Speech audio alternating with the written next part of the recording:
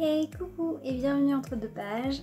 Je vous retrouve aujourd'hui pour un nouveau point lecture. Alors je vais diviser mes lectures de juillet en plusieurs vidéos parce que j'ai énormément lu et surtout lu beaucoup de graphiques. Donc ce point lecture sera essentiellement dédié à mes lectures graphiques. Donc si ça ne vous intéresse pas je ne vous en voudrais pas. Vous avez le droit de vous arrêter là parce qu'on va parler essentiellement que BD et manga. Je préfère vous prévenir j'ai 18 graphiques à vous présenter, donc on va commencer tout de suite parce que ça va prendre un petit peu de temps. J'en ai profité pour faire des inserts de, des graphismes à l'intérieur des, euh, des BD et des mangas. On va commencer tout de suite par les mangas que j'ai lus. Donc le premier, il s'agit de Créatures Fantastiques, le tome 1 de Kazuya chez Komiku.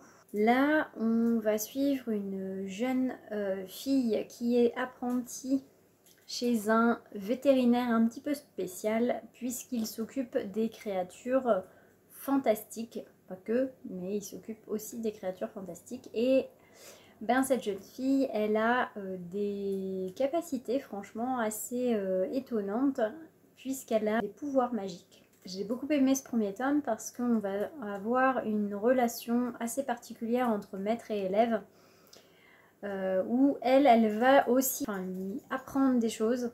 Il n'y a pas, euh, c'est pas unilatéral en fait au niveau de l'apprentissage. Et je trouve ça plutôt intéressant, ce côté euh, ben, chacun a apporté à l'autre. Puisque lui s'y connaît dans tout ce qui est médecine et ben, soins aux créatures, mais pas du tout en magie. Donc il y a tout le côté magique où il est complètement perdu et il est fasciné par euh, ses capaciité à elle. C'est des épisodes en fait où on va suivre à chaque fois une créature euh, particulière. C'est mignon au niveau des graphismes, vous allez voir, je vous mettrai l'insert. C'est classique, ça reste des visages très ronds, des détails un petit peu euh, sur les décors, mais pas plus que ça série qui m'a bien plu. Après, de là aller lire la suite, je ne sais pas, parce que je me suis pas tant que ça attachée au personnage. C'était sympa. Ensuite, j'ai continué à lire euh, la suite d'une série que j'ai commencé il y a quelques années, que j'avais empruntée, du coup j'ai continué à la lire.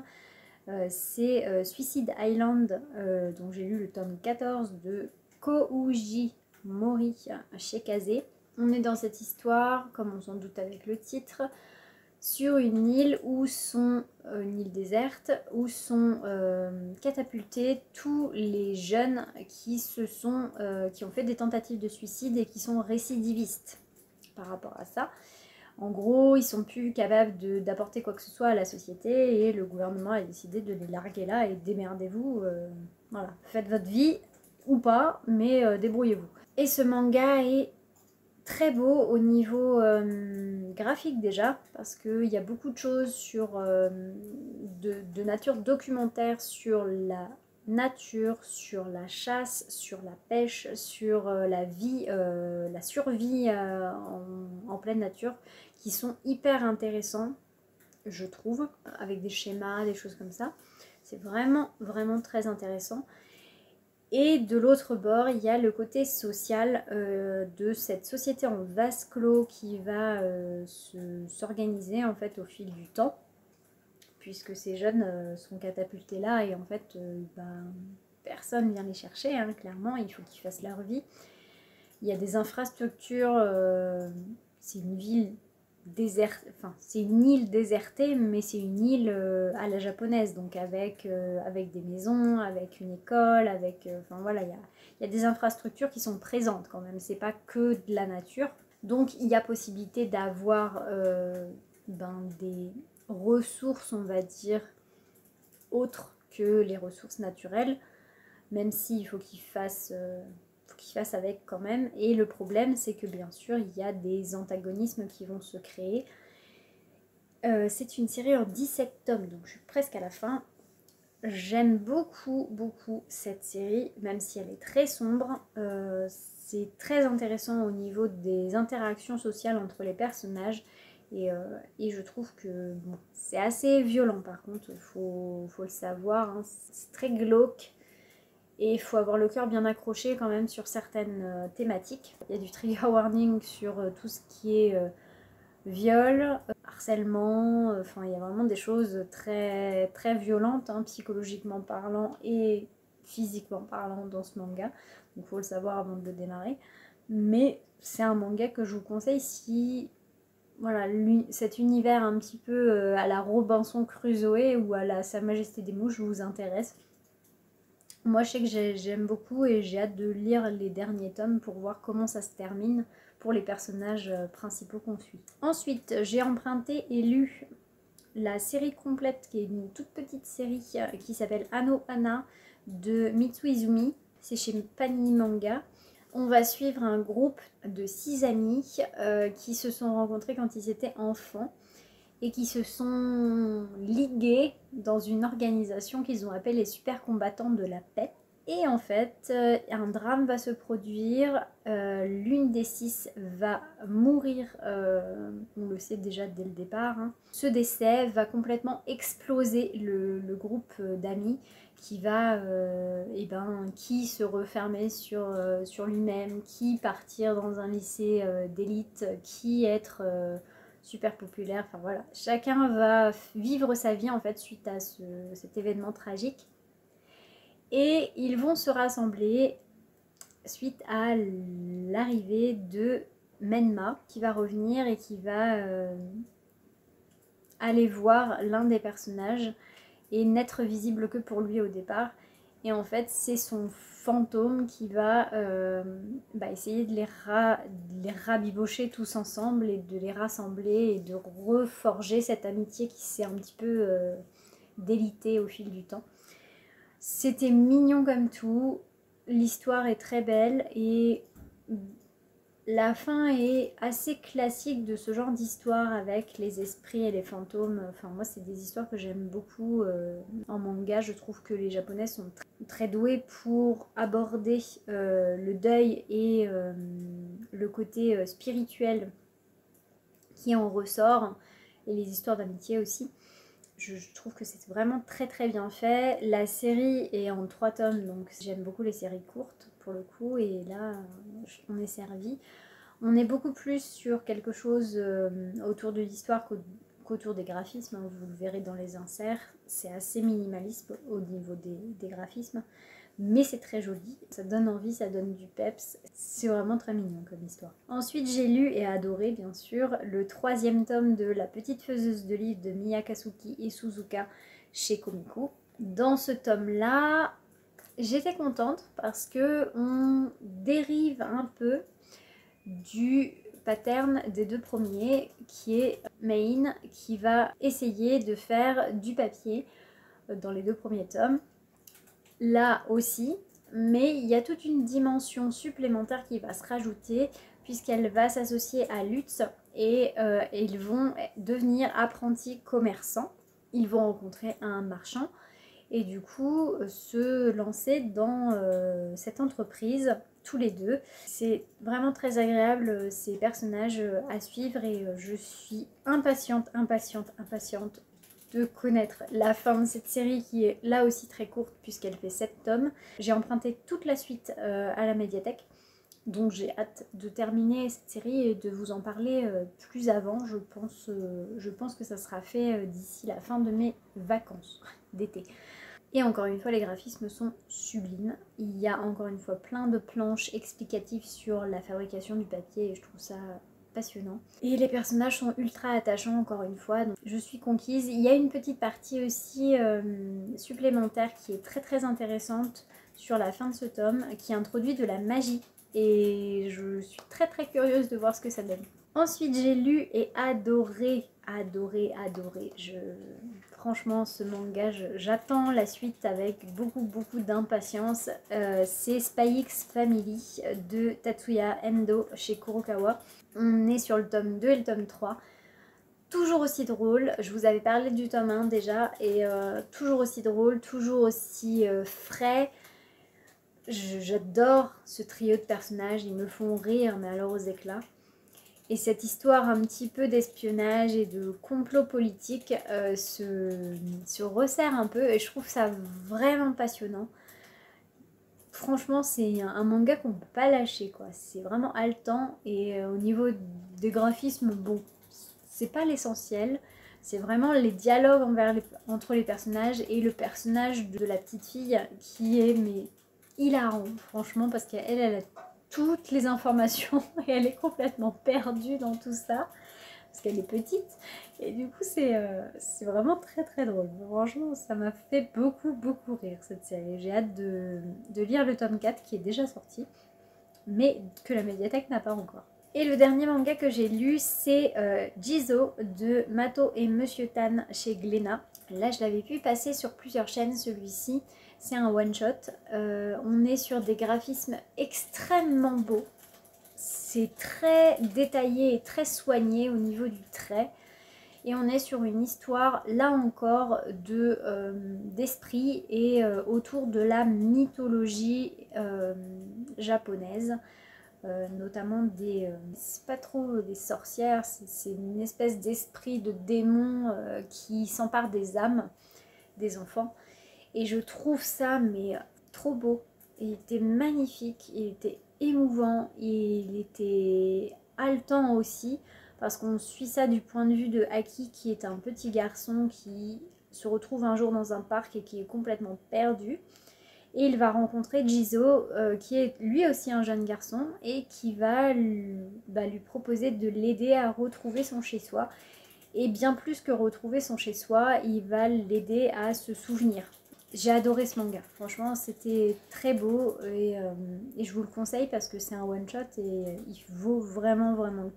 Et c'est parti, on passe au BD. Euh, j'ai lu tout d'abord le deuxième tome de Dans les yeux de Lia de Carbone et Justine Kuna euh, chez Dupuis. C'est le deuxième tome d'une série un petit peu thriller où on suit la jeune Lia qui a eu un accident, qui s'est fait renverser par une voiture. En fait, le mec s'est barré, a fait un délai de fuite et elle s'est retrouvée en fauteuil. Elle cherche à tout prix à découvrir qui est ce, cette fameuse personne. Elle travaille en tant que euh, stagiaire dans un cabinet d'avocat. Et là, dans ce tome 2, on va continuer à suivre euh, bah, leur découverte et euh, vis-à-vis de, ce fameux coupable. Je trouve ça très bien fait. Au niveau de la colorisation, c'est très joli, c'est très rond ben, c'est carbone, quoi, j'ai envie de dire.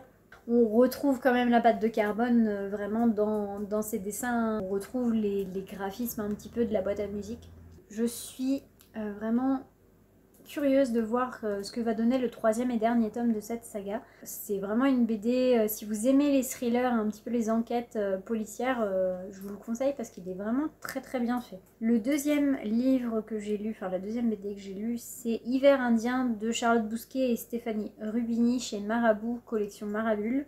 Là encore, euh, c'est un duo euh, d'autrices illustratrices que je suis régulièrement. Vous en avez vu quelques-uns. Euh, j'avais lu Rouge Tagada, j'avais lu Barricade, j'avais lu. Enfin, j'en ai lu quelques-uns en fait de leur. de la série qu'elles avaient faite BD jeunesse pour le coup. Là, Hiver Indien, on est davantage sur un titre qui va parler, je dirais, aux adolescents ou aux adultes quand même on est sur une histoire de famille où on va suivre une jeune fille qui est lycéenne, qui est musicienne, euh, pianiste, et qui est un peu euh, perdue dans sa vie parce qu'elle vit seule avec son père. La famille de son père est extrêmement envahissante et euh, méchante en fait avec elle. Son père est un peu mou et la défend pas des masses. Euh, sa mère s'est barrée, enfin voilà, il y, a vraiment, elle n'a pas une vie euh, facile, la pauvre. Et elle va être euh, secourue spirituellement, on va dire, par la marraine de son père, qui est une femme forte, indépendante, qui ne s'en laisse pas compter, qui s'est barrée à l'autre bout du monde en laissant mari et fils euh, pour vivre son rêve de musicienne. Elle est violoncelliste, elle, pour le coup. Voilà, c'est hyper touchant, euh, cette relation qui va se nouer entre cette femme euh, accomplie et indépendante et cette jeune fille qui se cherche. C'est très beau au niveau de la construction. J'ai eu envie de taper beaucoup de personnages parce que la famille est vraiment hyper trop présente et euh, a un avis sur tout, juge tout, très écrasante, de pression sociale, enfin vraiment euh, horrible. Et à côté de ça, cette jeune fille qui essaye de sortir la tête de l'eau et j'ai adoré ce personnage parce que euh, voilà, c'est vraiment une adolescente avec tous ses questionnements et toute son intériorisation de beaucoup de choses. Et je trouve ça vraiment très très pertinent. Là encore, la collaboration Charlotte Bousquet, Stéphanie Rubini, au top.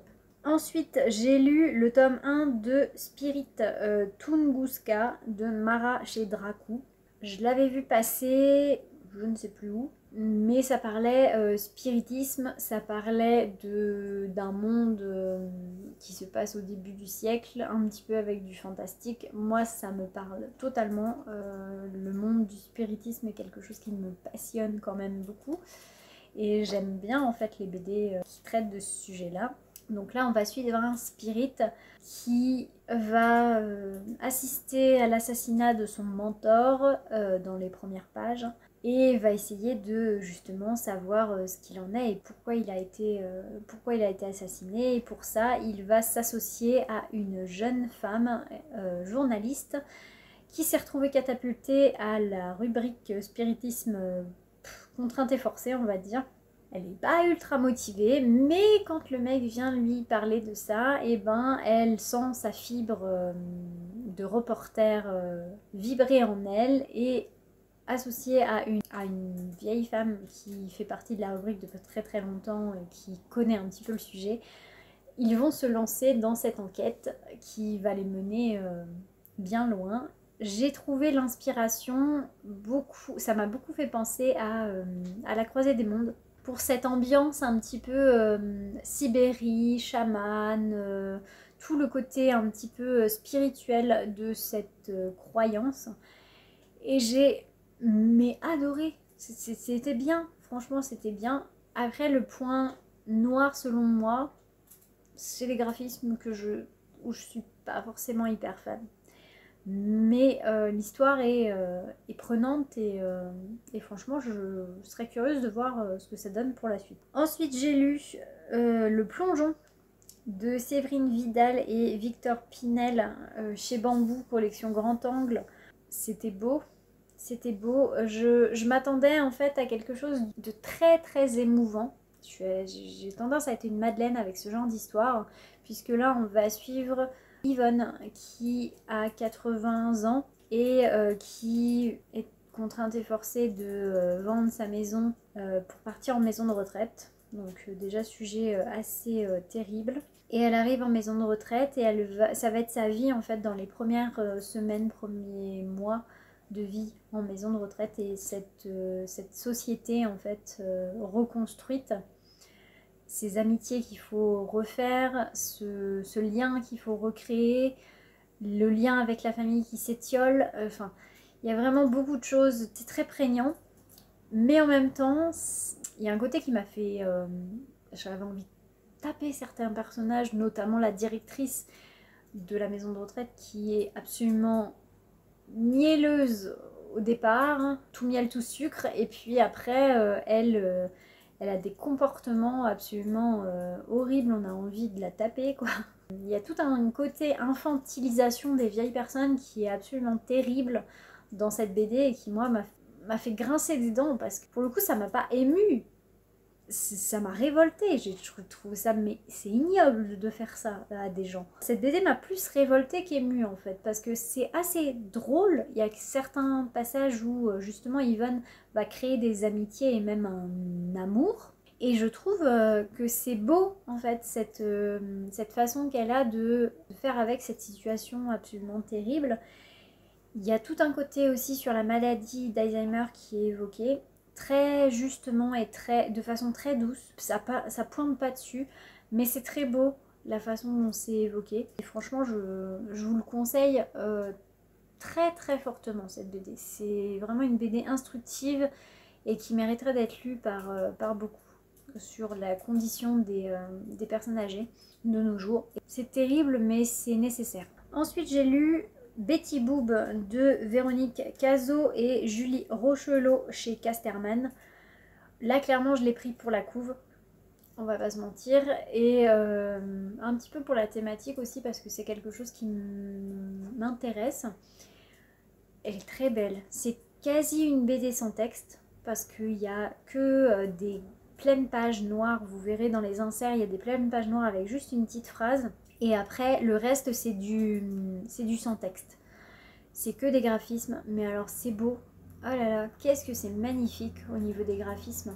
On va suivre une jeune femme qui a un cancer du sein, a euh, une ablation euh, d'un sein, et bah, son monde va s'écrouler en fait à ce moment-là. Euh, son compagnon va la laisser tomber, elle va être toute seule. Il y a tout le côté déprime post-opération qui est vraiment voilà assez terrible. Et après, elle va rencontrer euh, des gens sur un, sur un bateau, je crois, avec un cabaret, où justement chacun a une particularité et elle va s'épanouir au contact de ces personnes, euh, toutes plus différentes les unes que les autres, et découvrir qu'elle peut euh, se jouer en fait de cette, de cette privation sur son corps et se l'approprier vis-à-vis du monde extérieur pour ne plus le subir. Et je trouve ça mais tellement beau, c'était tellement juste, c'était tellement poignant. Les, personnages sont tellement magnifiques en fait dans cette BD que ça vous emporte euh, avec, euh, avec le personnage principal et avec les autres personnages. C'est beau en fait, c'est juste beau.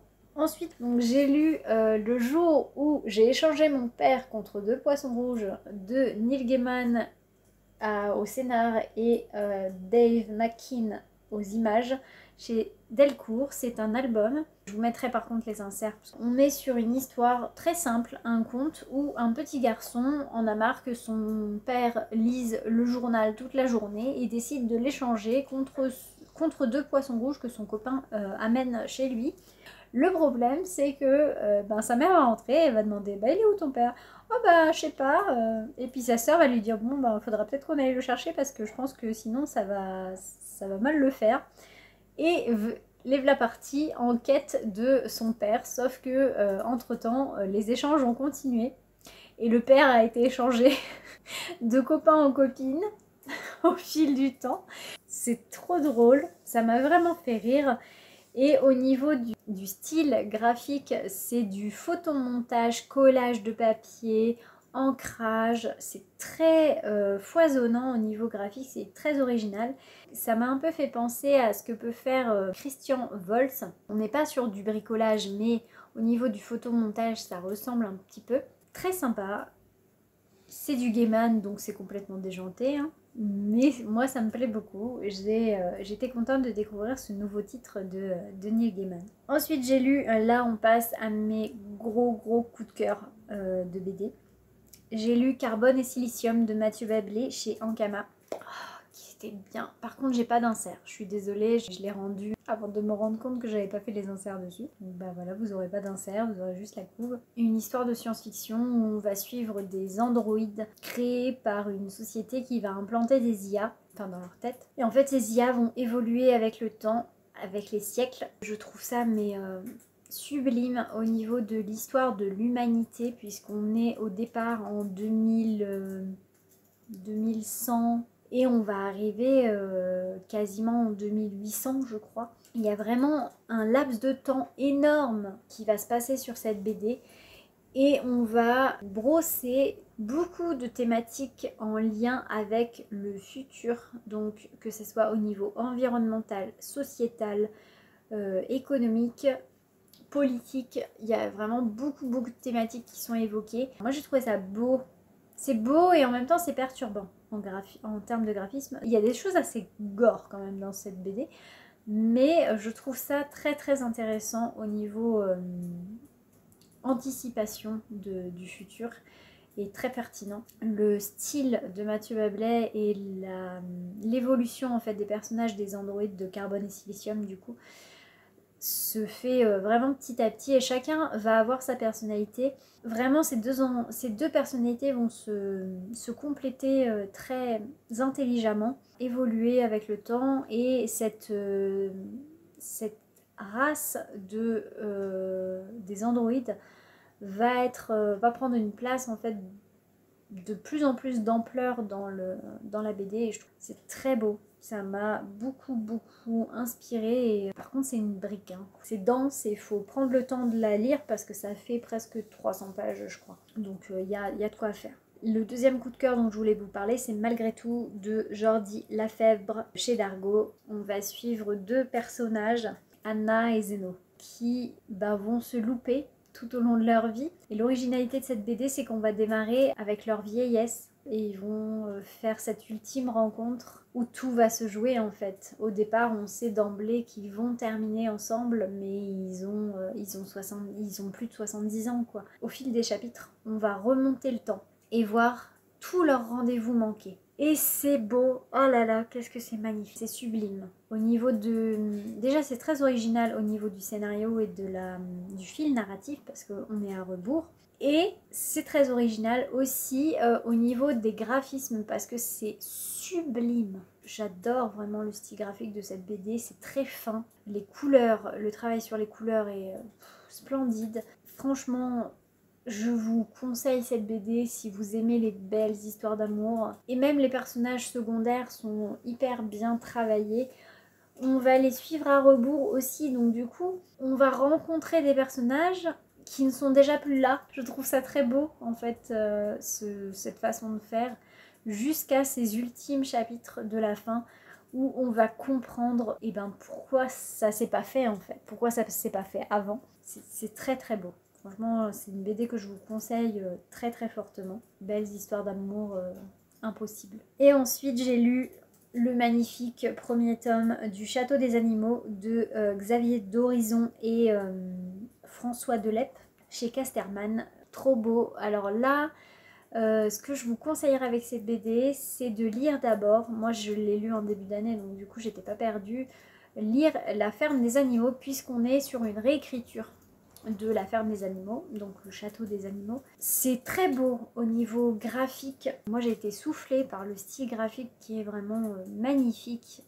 Très foisonnant au niveau des détails. C'est aussi assez violent sur certaines planches. Hein. Il faut être préparé à certaines planches. Et au niveau de l'histoire, on est sur euh, bah, la ferme des animaux, donc du coup les animaux qui vont euh, se rendre compte que euh, une dictature s'est instaurée dans le château et qui vont tenter ou pas. C'est les différentes visions et les différentes réactions que peuvent avoir les gens face à la dictature. Il y a tout un message sur la, la puissance du rire que je trouve excellemment bien faite il y a tout le côté avec le rat itinérant qui est très très sympa. Le lapin aussi. Le personnage bien sûr de euh, Mademoiselle Bangalore qui est central dans ce premier tome que j'ai beaucoup beaucoup aimé. Très très beau, l'histoire est hyper poignante, ça m'a fait verser des larmes. J'ai emprunté le tome 2 euh, à la médiathèque euh, dès que j'ai pu et j'ai hâte de m'y plonger parce que franchement j'ai trop trop hâte de resuivre ces personnages que j'ai adoré euh, rencontrer dans ce premier tome. Et voilà c'est tout pour ce point lecture graphique, j'espère ne pas vous avoir perdu en route, j'espère que ça vous aura intéressé et que ça vous aura donné envie d'aller voir ces séries euh, graphiques parce que franchement ça vaut le coup. N'hésitez pas à me dire en commentaire si vous aussi en juillet vous avez lu euh, quelques graphiques BD ou manga ou comics. On se retrouve tout bientôt pour la prochaine vidéo et d'ici là portez-vous Salut